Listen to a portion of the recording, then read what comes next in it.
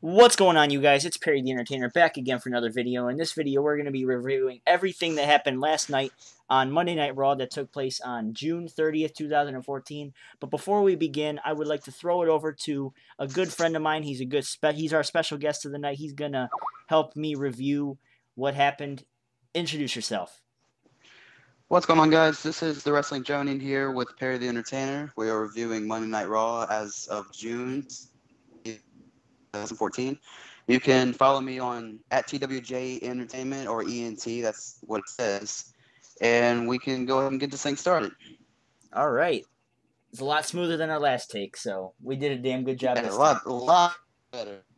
All right, so we kicked things off with Stephanie McMahon and Triple H. We had the authority come down, and they introduced us to the 15 time WWE World Heavyweight Champion John Cena. And then we eventually all came to the realization that John Cena, his face, plastered on the WWE 2K15 video game cover. What did you think about that? Um, to be honest with you, I wasn't too happy about it because neither was the rest of the IWC. Go ahead. I'm sorry. I just don't think Cena's earned the right to be on another video game cover. This isn't.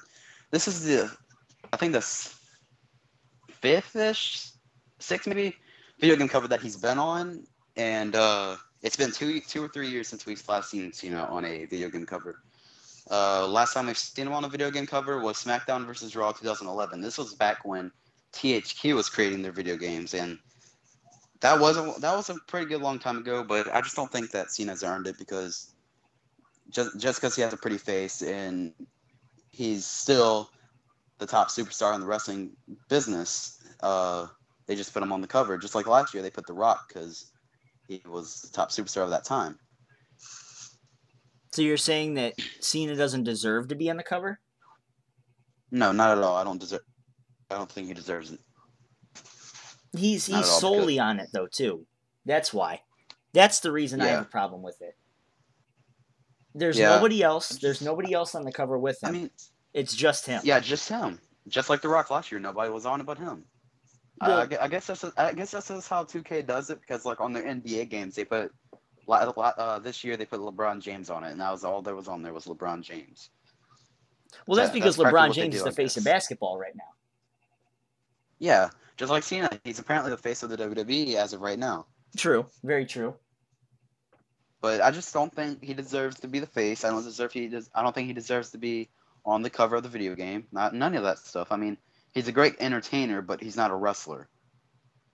Very true. And I remember Daniel Bryan even, you know, solidifying that point in a in exactly you know the build up to their SummerSlam match. But uh about yeah. this promo, I don't know what it was, but I was actually in it with Cena. I actually liked this promo up until the very end when he started making fun of Stephanie with the you know the throwing her into the pudding and well according to them, it was crap, but we all know it was like caramel pudding or something like that. Yeah, it was pudding. Yeah. I didn't have much of a problem with it until then because Cena put the funny, the jokes, he put them backstage again, and I love that type of Cena. You know. Yeah. Uh, I mean, Cena, whenever, like you said earlier, whenever he gets serious, he can cut drop dead amazing promos. But mm-hmm. once once he like up in the pro, like in the middle of a segment, like when he starts joking around, that's when it all goes to crap. That's whenever he ruins it for everybody. Take the take you the take the feud that he had with Bray Wyatt for an example. I remember there was a Raw. I don't remember how long ago it was, but remember when he was making fun of him on the Titantron with the baby and making fun of the beards and everything, all three of them. Yeah, that's what killed that feud for me and it was But leading, you... and it was leading up into their payback match and i don't know why they would even consider doing that. Maybe it's like i understand when you would need jokes to kind of lay off of a, a huge storyline especially one that has so much drama like the cena and wyatt one did you know? Yeah. But yeah Cena, i don't think uh... i don't think you should have made the joke at you know bray wyatt's expense because of his character at the time you know but anyway go ahead i'm sorry. Oh, it's all right, man. Uh, yeah, I know where you're going with the, where you're going with this, and like in the Cena and Bray Wyatt feud, uh, the probably the, my favorite moment of that time was when Bray Wyatt and the lights were off and the spotlight was on Luke Harper, Eric Rowan, and Bray Wyatt. Bray, Bray Wyatt was on his knees and the two other guys were on his side. Then John Cena comes up from behind him wearing a sheet mask and a plaid shirt, I think, mm-hmm. and Cena beat, no, beat him up. Wearing, that's the Cena. That's the, the Cena that we need to see. That's the kind of Cena that we need to see. I liked. I liked yeah. that. I think that was probably the strongest promo they had going into the WrestleMania match. Yeah, that was the Cena that we need to see more often. Not this soldier wannabe rapper that's never made it type of guy that enjoy that wants the kids to enjoy him, but not the not the adults. You know what I'm saying? Well, uh, we ended up getting the news that John Cena will be defending his WWE World Heavyweight Championship in a fatal four way match against Randy Orton, the Demon Kane, and Roman Reigns. And eventually, that was going to be our main event. John Cena was going to team with Roman Reigns to face Kane and Randy Orton in a tag team match. Yeah. Uh, any closing thoughts before we uh, move on to the next topic? Uh, well, no, not at all. Uh, we can go ahead and move on. I mean, See, the the announcement was kind of shocking to me. I didn't think Cena would defend it in a fatal four way at Battleground, but I thought he'd defend it probably just against Roman Reigns since Randy Orton already had his shot last night. That was that was practically his rematch, I think. And I don't even know how Kane is in this, just because he's in the Authority uh, picture. I guess they had to put him in it just to help Orton out. But I'd rather see him rather face Roman Reigns Battleground one on one or one on one with Randy Orton, even though Randy Orton lost his opportunity. But yeah, we can go ahead and move on. I think WWE really did need to sell Battleground because I think they completely forgot about that on the way moving into SummerSlam. They figured, oh, we have another pay per view that we need to fill. So let's yeah. throw some random match on the card. Let's try and make Cena look so strong so that when Brock Lesnar does come back, Brock actually kind of has a shot against Cena. You know. Yeah, but you're gonna have to you're gonna have to know that they're gonna make Cena look strong building up to the feud that he's supposed to have with Brock Lesnar at SummerSlam. so we all know Cena's going to defend the title. We all know he's probably going to win it, and then Brock Lesnar is probably going to decimate him and take it from him. I wouldn't mind seeing that either because I think that's the best thing that Brock Lesnar can do at this point. We have right. a little uh, visitor. Well, like I, like as I was saying, uh, I I wouldn't mind uh, Brock Lesnar beating Cena for the title, but the thing that bothers me the most is that he's a part timer, and I cannot stand part timers. I don't like them. You're not a fan of having part timers be champions? Not at all. Not at all. So not even when the Rock. I mean, I didn't. I had. I I hated the Rock beating CM Punk. I hated exactly. That. I I hated that. CM Punk does so much better. I would rather see John Cena beat CM Punk for the title than The Rock. Okay, that's understandable. Exactly. Just because you you know that Cena's going to be able to be there every night. You know. Exactly. Just like Punk. Just like Punk before he left. He he was there and he put on one hell of a show. Love him or hate him, you have to respect him. Well, uh, as much as we'd like to talk about John Cena, we got to move on to our uh, next. Topic. All right, let's go ahead, man. What What do you want to talk about? What, what do you want to talk? Yeah. What do you want to talk about? You're you're the you're the guest here. It's up to you. Uh, man, okay. Uh, let's see. Oh, I, I got a good one. Uh, Rusev and Jack Swagger. Oh, Jack Swagger confronting Rusev on this episode of Monday Night Raw. It looks like Swagger's going to be going down the uh, the good side of the road this time. Exactly. That's that's actually pretty good for for uh, him. I mean, he hasn't been he, he hasn't been a face ever since he started, and uh, it'd be nice to see Swagger try something new, uh, becoming face, facing Rusev, possibly beating him too. But uh, I could see him doing something, some type of thing like the Miz, where he turns face for a good couple, good few months, maybe a year, and then turning heel again, and like uh, turning slowly processing. Turn. Uh, how how can I put this? A slow process heel turn. That's what I, that's what I was saying. A slow process heel turn. You know how I mean? big of a how big of a heel are we talking? Do you think he's going to be a bigger heel than he than he was?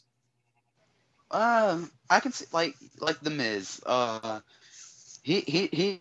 Ever since he lost the Intercontinental Championship, I think I think uh, he's been going down a slow heel side of the roster, and I mean Jack Swagger could possibly do that too. Um, he could possibly be like a Miz type of heel where he gets beat up by movie stars and uh, beat up by a returning superstar as well. I think I mean? when it I think when it comes to the Jack Swagger topic, I think all we can say at this point is it's about damn time. I think yes. honestly, WWE, especially after they broke up the Real Americans after WrestleMania, when they yeah, broke was, them up, that... Swagger was going absolutely nowhere. Yeah, he was I'm going from jobbing to, jobbing to Adam Rose to jobbing to all sorts of different guys, and now he's back as a good guy. You know, we got the the we the people thing. That's the funniest part of it all. Even when Jack Swagger was jobbing the guys like Adam Rose, the we the people chant was still strong. It was still huge. Yeah, the problem the problem here is even if uh yeah, hold on. Yeah. And especially with you know the the World Cup coming up, you know, the we're playing in the World Cup tomorrow against Belgium. I think this is the perfect time to kind of you know, establish that American figure, not like Biggie Langston, but I think that this definitely is the um it's definitely the character that could elevate Jack Swagger into possible main event status. I know that that's probably not the case because of what he's done to guys like Ziggler and guys like Barrett, but I think that this yeah. turn was definitely needed to keep Swagger relevant, and I think it. Yeah. Def- I think it's definitely gonna well work out for WWE in the long run because especially with merchandise sales and everything being the the biggest pivot when it comes to building stars and everything the swagger merchandise is still selling. No matter what anybody says, the swagger merchandise is still selling. Yeah, man, I understand that, and uh, like I guess because all right, I'm gonna I'm gonna do a little spoiler here for you guys. For you, you who don't know, Vince McMahon has officially buried Adam Rose and Paige, and I guess the fact that he has buried Adam Rose and I guess they wanted to find something else for Jack Swagger to do because I think I think they were going to continue the Adam Rose uh, Jack Swagger feud for a couple more weeks, but I guess not since he since Adam Rose is buried now. Uh, but yeah, I guess I guess they're trying to find something else for Swagger, something possibly bigger. Maybe after he gets done with Rusev, maybe he can get a little title push, maybe for the U.S. title, because that fit him. That fit perfectly with his "We the People" persona. You know what I mean? Mm-hmm. I I completely understand that, and I think that would yeah. be, I think that'd be. I don't want to give him a mid card title if he doesn't need it because he's got the crowd behind him. He's yeah, got, but like he's got the the the mic piece, if you want to say that. He's got the mouthpiece and Zeb Colter Yeah. He needs but, that merchandise sale, and I know I was saying that how you know his merchandise is still selling, but maybe now that you know they are having this U.S. versus Russia and Jack Swagger being looked at as kind of like the Rocky Balboa of the thing, Rocky versus Drago. Yeah. I think that this can definitely work out in WWE's favor. I think it can sell a lot more Jack Swagger merchandise, and it could actually make Swagger into a bigger star despite him possibly jobbing the Rusev at SummerSlam or something like that. Well, yeah, man. Um, I mean, we already saw Big E practically job to him uh, at their matchup back. Big E nothing going for him. He got hit. He got his butt torn up by Rusev. He did nothing there.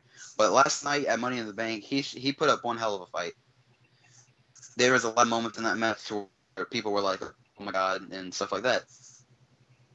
Rusev get the job done, and we just have to see if Jack Swagger can. I think it was. I think it was definitely a good moment.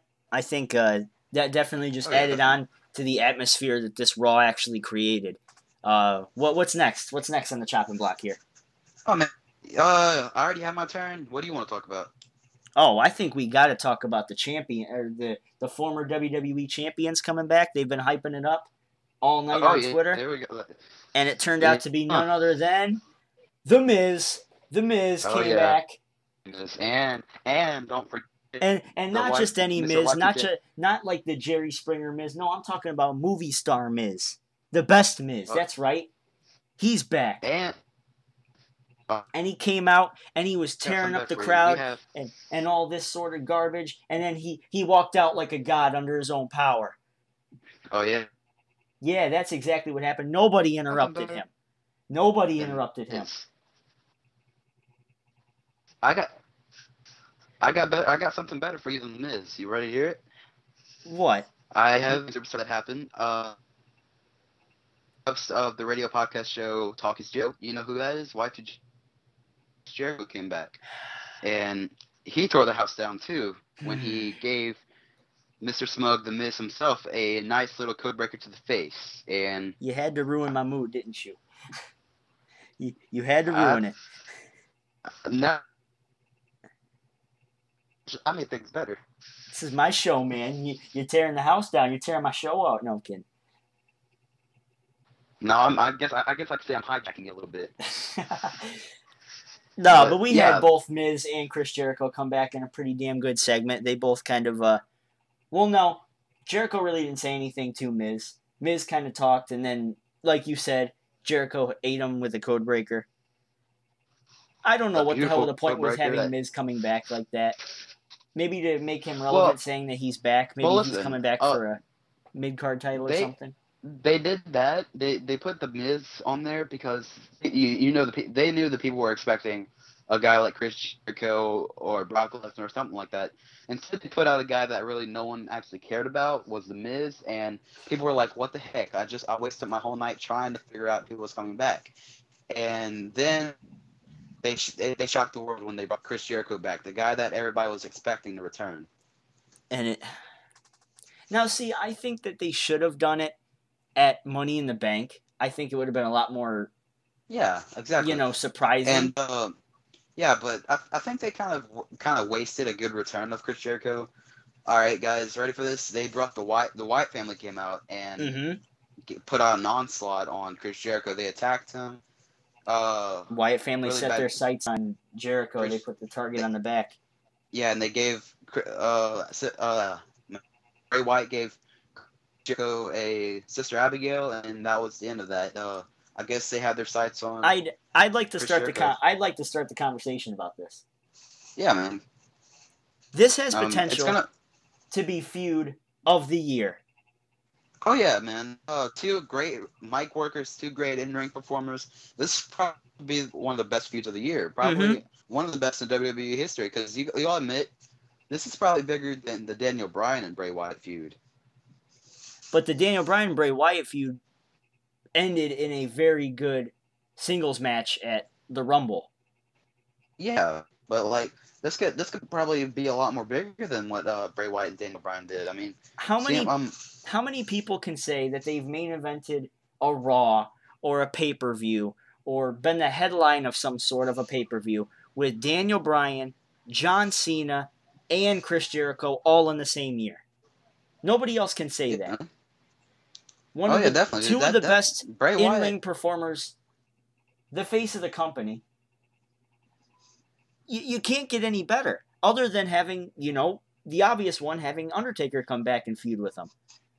Yeah, I mean, like, like last year, WWE had WWE had a really bad, like, setback whenever Daniel Bryan lost the title. Said their ratings started to go bad, but now ever since probably uh maybe maybe this year's Royal Rumble or WrestleMania maybe uh things started to lift up a little bit. Now things are actually going a lot better for the WWE. I mean, like they're they're gonna start a potential Chris Jericho and Bray Wyatt feud, one of the two best in ring performers and mic workers there is today right now. And that's probably something the fans will actually weren't expecting, but they want to see at the same time. It's definitely going to end up building Bray Wyatt, doing something that John Cena couldn't do because John Cena wouldn't do it because John Cena wouldn't put Bray Wyatt over at Mania or at Payback, which disappointed me in the biggest way. Because well, being got, got... because being in the arena to see John Cena, and yes, I was. I was at Payback. Oh, you I, were too. I I didn't know if I told you about that or not. Maybe I did. Maybe I don't. I don't think Mike ever told you about that. Man, uh, I hate to tell you this, but I was there too. I guess you and I didn't see each other. Ah, I guess I guess not, dude. We should have we should have met up or something. You should have let me know. know.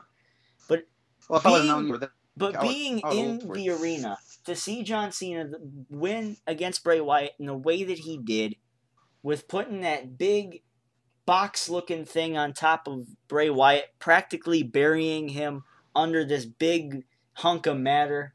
It was. It did nothing but just kind of take a little dump on the legacy of Bray Wyatt that's going on right now because you can't have a feud with anybody else, especially when you're in a feud with the face of the company, you yeah. can't you can't improve other than winning yeah. the world title. And I've even, I've even said I've gone on the record, record saying that Bray Wyatt actually may be bigger than the world title itself. Oh, definitely, dude. He he's like you said, he has the whole world in his hands. And uh, but I'll be honest with you. I'll be honest with everybody. You guys have to know what John Cena is. He is the top barrier of WWE. He's buried the likes of The Miz, of course. He's buried the likes of uh, Alex Riley. He, he's Alex Riley was probably the biggest burial John Cena has ever had. John Cena's ever had, and uh, Bad News Barrett, uh, completely buried. He uh, by John Cena. Uh, guys like that. I mean, Cena. I'm actually surprised that Bray Wyatt was not buried by the guy. I mean, I actually thought that Bray it was it was over for Bray Wyatt after Payback. I think this. I think Jericho is the perfect guy that can put Bray Wyatt over, that can make Bray Wyatt a superstar, that can make Bray Wyatt that top talent that WWE needs in the heels, especially yeah. now. Oh yeah, definitely. I agree. And I don't know what the hell was the point of having Miz come back. Maybe it, you know, maybe it was to just troll people. Maybe he actually is back. Maybe they're actually serious on Miz, which I hope to God they are. I'm sick of seeing you know, face Miz freaking be on my television screen promoting all sorts of crap, like all sorts of children's crap. I didn't like it, so I'm kind of glad that he's back in this heel mindset. And uh, yeah, yeah. I mean, the last time I was actually a legitimate fan of the Miz was back whenever he teamed with John Morrison. That was he was actually legit back then, but now uh, I don't see nothing for him. I mean, you might, but I don't. That was a while ago. Yeah, that was a long time ago. That was a while ago. But uh, let's see what else. Man, happened? I remember oh. the rumors. Uh, the sad, the sad thing is, there was actually rumors about John Morrison returning at Money in the Bank, and sadly, they weren't true. Oh wow! I didn't. I didn't think yeah. I knew about that. Yeah, man, that that's sad. I mean, I was looking forward to that. I thought he was actually gonna come back. Maybe, maybe he could have came back as the replacement of Miz tonight, and maybe something else would happen. I don't know. We can go through some uh, quick takes of what else happened in the night. We all, we had uh, the Intercontinental right. Championship being vacated. Bad News Barrett's yeah. injury is too severe, so he is forced to um, Separate relinquish shoulder. the title. And Cesaro basically went off on uh, Kofi Kingston. We had um, the next chapter in the breakup of the Funkadactyls, where they practically just beat down on Nikki Bella. Cameron, you know, thinking she was fucking hot shit. I guess, you know, got jealous yeah. of Naomi getting the win. I don't know. Yeah, I don't understand what Cameron's mindset is at this point. I mean, I'll be honest with you, I was not a big fan of Cameron. I mean, she's hot as hell, but she is not as of an in-ring performer as Naomi is. Naomi is spot on amazing in the ring. She she is definitely champion. She didn't show it against Paige last night, but Speaking of Paige, we have to talk about this, and I don't want to. So I'm going to give you the floor. Uh-oh. I want to. I'm going to give you the floor. Okay, guys, you ready for this? You, this is so your moment. This is your moment. Go ahead. All right, I'm. I'll be happy to roll this in your. Face. Oh, go ahead, because I'm sure multiple people are. So uh, you're not going to be the first. All right. Well, we this had is your the, moment. The WWE Divas. Uh, saying stuff like people didn't believe in me that I should go back to NXT. And then she said that she's not going. And then the unthinkable happened. There were people who reached to C Punk, aka Phil Brooks, that where he goes. He she came and she challenged Paige to a WWE Divas Championship rematch he rightfully deserves from the night after WrestleMania. Uh, Paige, surprisingly, I didn't know this would happen refused the title uh, match between those two, and uh, I'm guessing this was a potential uh, heel turn for Paige and a face turn for AJ Lee. And I'm actually happy about this because I like to see AJ Lee. She's a great in-ring performer, just like Paige is. Both good mic workers. AJ Lee can work as a heel or face, and I'll still love her to death. Um, but AJ Lee surprisingly set it up to the fans to determine whether or not Paige defends the title or not. And they decide they, they of course they chanted yes, and Paige accepted. They don't and, know any better. Uh, because they don't know any better. Yeah, right. I think they knew best for that one. And uh, AJ Lee faced Paige the championship. Uh, a good two minute match, I guess. I guess that's how long it was. And Pay, I mean AJ Lee beat Paige for the Divas Championship by a roll up, and I was happy about that. And uh, I'll be honest with you, Paige, uh, Paige didn't earn the Divas Championship, in my opinion. Um, on the first night of the job, I don't think she earned that. She got lucky, and I'm happy that the title is back home where it belongs in AJ Lee's arms. You, you, you don't want me to talk about this. You don't want me to. Oh, I do. Go ahead. Say what you want to say. Say what you want to say. You, you don't want me to. I guarantee you don't want me to. Why is my phone going off? You, are letting you're, you're letting me say what's on my. Let me say what's on yours. It's your show. Go ahead, man. I love the creative direction that WWE is going. Oh, how's that? The night after WrestleMania, let's take the title off of AJ Lee, put it on Paige. Not to mention, let's make it look like a burial. Let's basically throw AJ's longest Divas Championship reign ever. Let's throw it in the garbage so that she can go marry the guy that walked out on you. But it's okay because the same girl's going to be champion. She hasn't beaten a legit challenger. But she's still going to be champion when you come back. And when you come back, you're going to get your title back.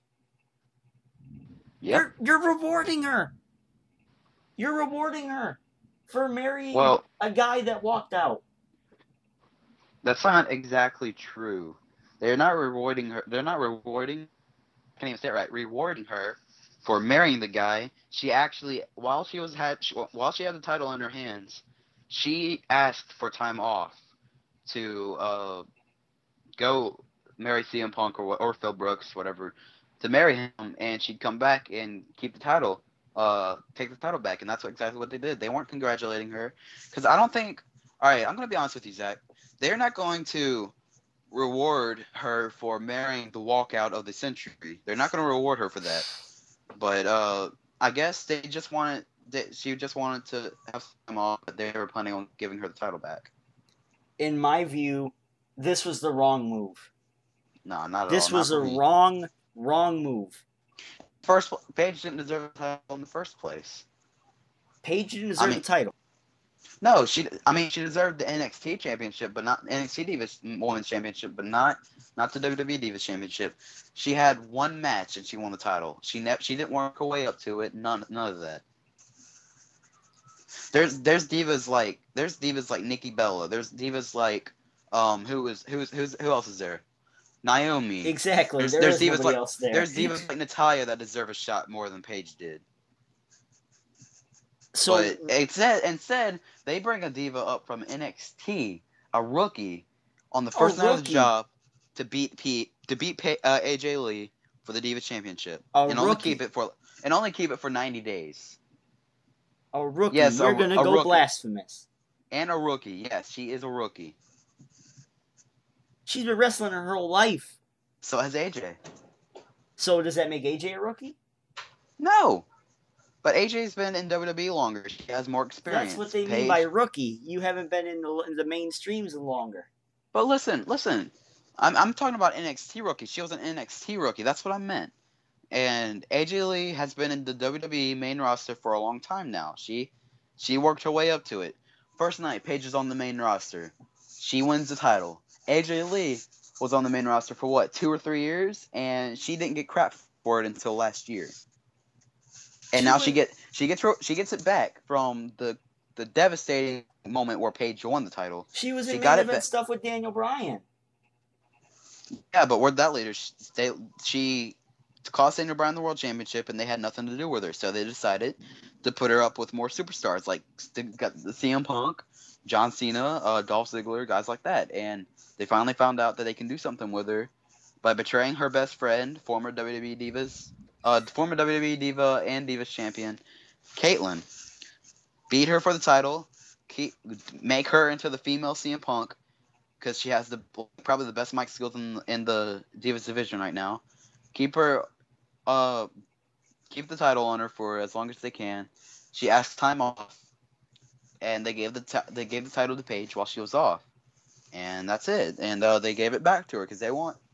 I think they're planning on putting. i think they're putting AJ Lee in the direction where CM Punk wins, where she keeps the title for longer, more than a year, and uh, lose it to. Who knows? Maybe they can bring Lita back and uh, beat her for it. That'd be a pretty good moment, in my opinion. I, I think I don't think Lita's coming back anytime soon. I think the only well, way that AJ can lose the belt is to Paige, and I kind of like. I kind of do like. I got to admit, I do like how they did the uh, the double turn tonight. AJ to a face, Kaitlyn or Paige to a heel. And yeah, I think dude, this listen. opens up a little bit more opportunities for Paige because, well, let's face it, who really credible has Paige beaten for that title? She's beaten Tamina, who hasn't been over in three years and she beat exactly Naomi. Naomi, who that's it. Let's face it, she's not the best in the world because we all saw the match. It was sloppier than hell at Money in the Bank. And well, yeah, but that. dude, listen, listen, but listen here. All right, you counted the guy, the people that Paige has defended against. Count as who else has AJ defended against? AJ. AJ hasn't defended against anybody else. She's defended it against. Uh, I think there's another one, right? Uh, who who did you say? I said Cameron, Naomi, Natalya, and uh, uh, Kaitlyn. So that's that's four. I, I know she's defended against more people. Brie Bella, um, the Bella, basically all the total defended against Nikki Bella. Yeah, she defended against Brie Bella. Basically, all the Annie total Marie, divas. Even Marie, even uh, Night of Champions when AJ Lee defended again in that Fatal Four Way. Basically, all uh, the total divas. And I think that's it. Seven people. The only total diva. Well, let me correct myself. The only original total diva that she has not defended against was Joseann Offerman, aka JoJo.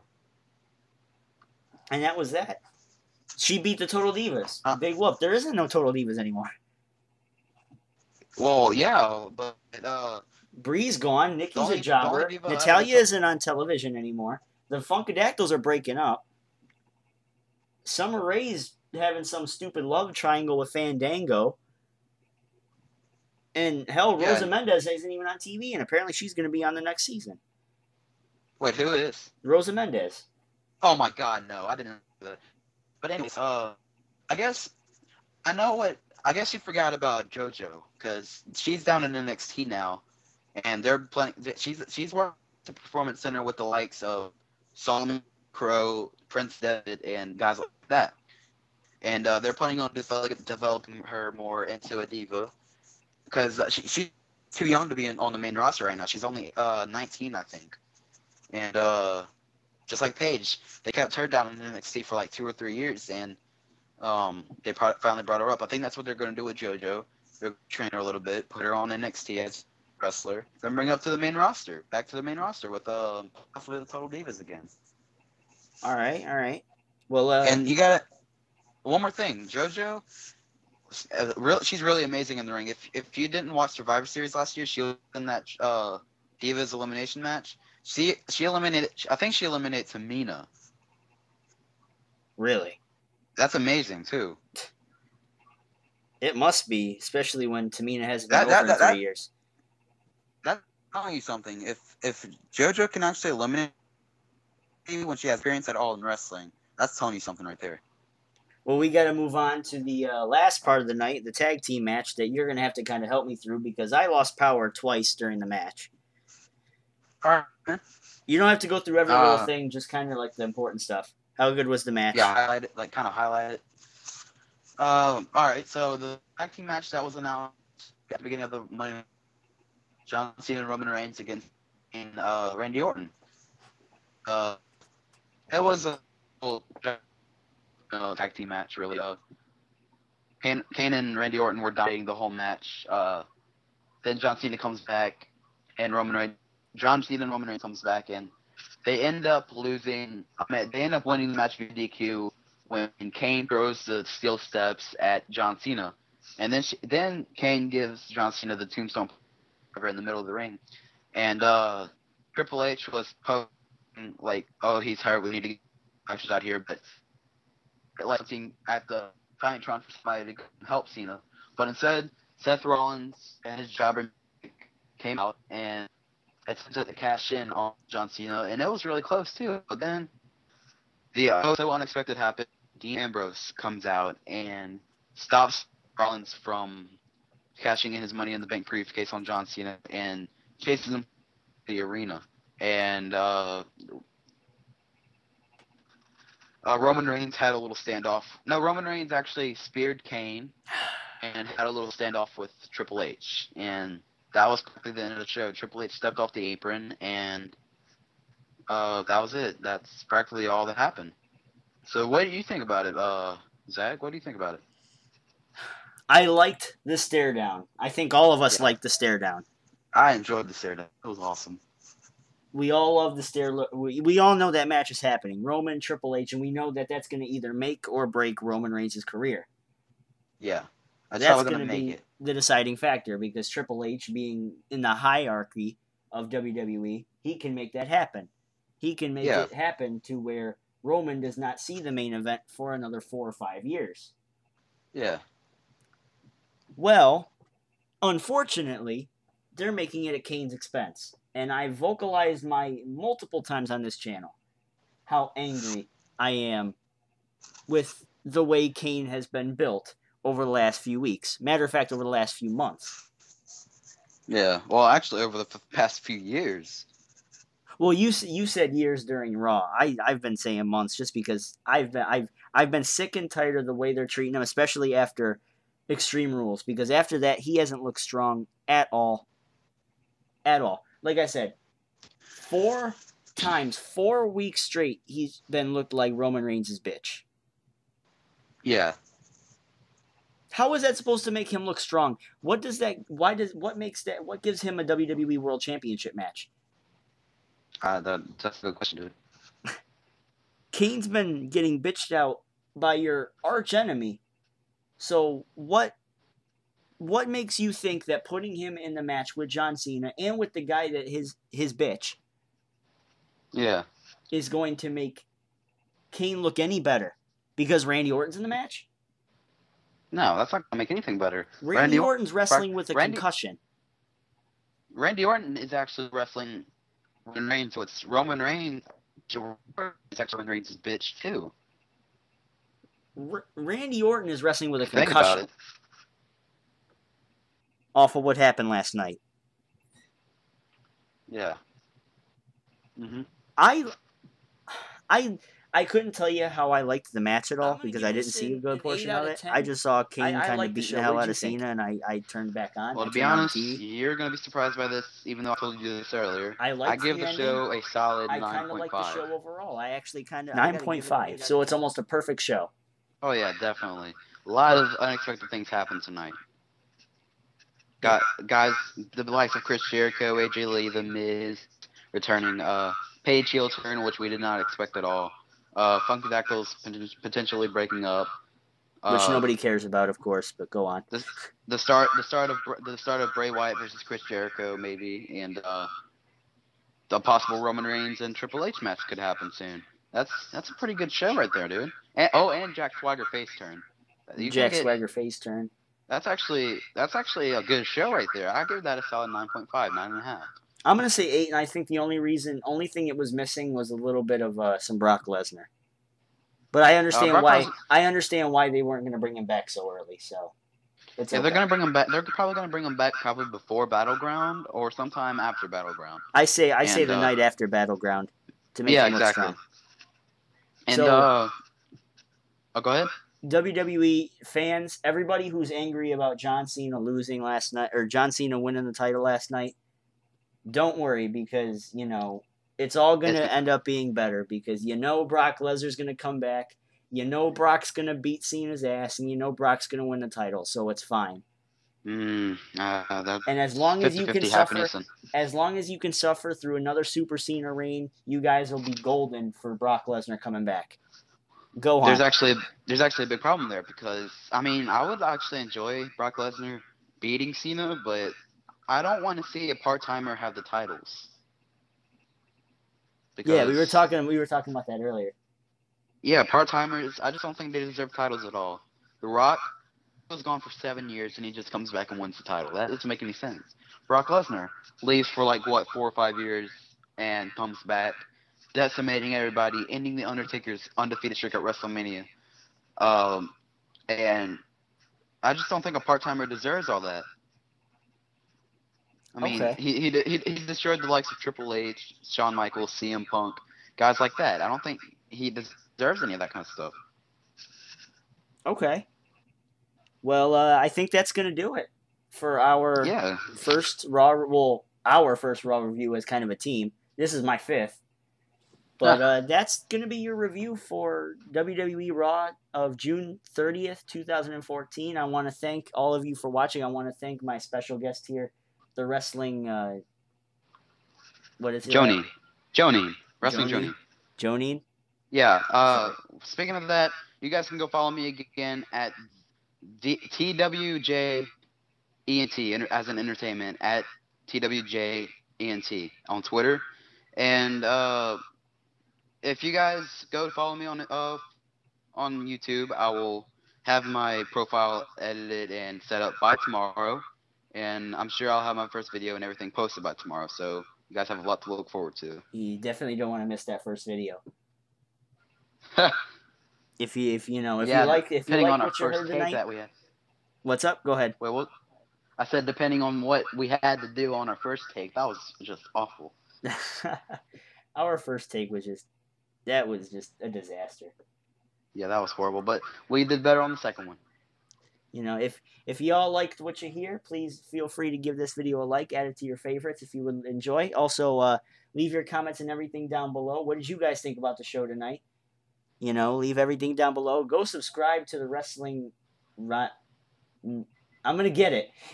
You're gonna get it. You're gonna get it. The wrestling Jonin. Jonin. J O N I N. Jonin. Wrestling Jonin. This is his first, you know, video in what a year and a half, two years. Uh no, I wouldn't say that. Probably uh, less than a year. I mean, sometime less than probably five months, maybe. Yeah, so make, make him feel welcome. Also, you can find his link and everything down in the description box below. Also, is where all of mine will be. And uh, I think that's about. I think that should do it. You have any final words? Well, I'm just gonna say there's more to come from me. There's more to come from you, as I, as we all know. Uh, I really enjoyed being here with uh, Perry the Entertainer here, and I hope I can do a lot more with him. Um, um, and I enjoy having this review, and I hope you guys have a great day or whatever, and keep on being a wrestling fan. Happy Fourth of July weekend. Actually, I'm probably not going to see them very. And that too, yes, and that I that completely escaped my mind. Because I'm probably not making a SmackDown review, so. No one who watches SmackDown anymore. You know, jokes. Kids, children. Well, okay. I'm sorry, kids. You're not jokes. Okay. you accepted the apology for them. Well, yeah, uh, they can't because they really can't talk. But... anyway, that'll do it for us. I'm Perry the uh, Entertainer. That's the wrestling Nanjin. Wrestling Jonin. Jonin, damn it. The wrestling Jonin.